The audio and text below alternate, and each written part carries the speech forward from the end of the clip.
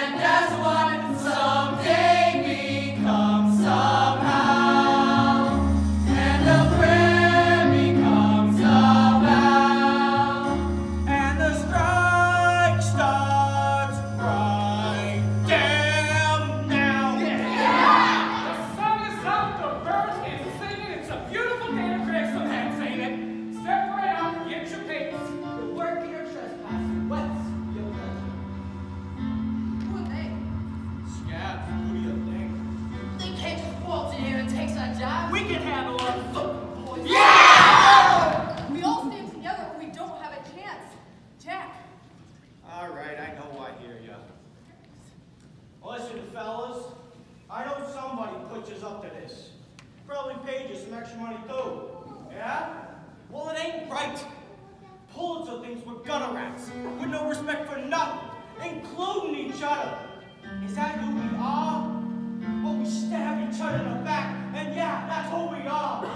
But if we stand together, we change the whole game. And it ain't just about us. All across this city, there are boys and girls watching me out, out playing or going to school. Instead, they're slaving to support themselves and their folks. Ain't no crime to being poor.